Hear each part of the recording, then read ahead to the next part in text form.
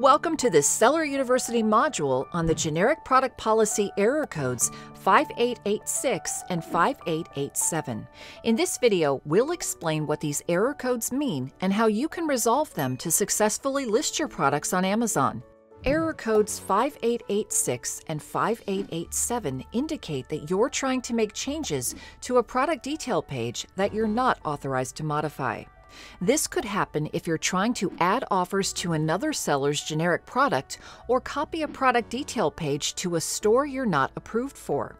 You cannot directly edit or change a generic product detail page that belongs to another seller. If you want to sell a generic product, you need to create your own new product listing. To do this, you can use the Add a Product tool on Amazon Seller Central. This will allow you to create a new product detail page for the item you want to sell. Let's look at an example. Say you want to sell a generic smartphone case. You can't simply copy the detail page of an existing smartphone case listing.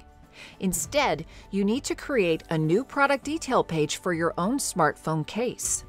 This involves providing all the required product information, images, and relevant details in the Add a Product workflow.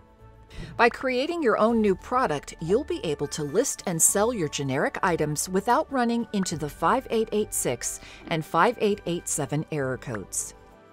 More information on the Amazon Generic Product Policy and related error codes can be found on the General Product Policy Help page.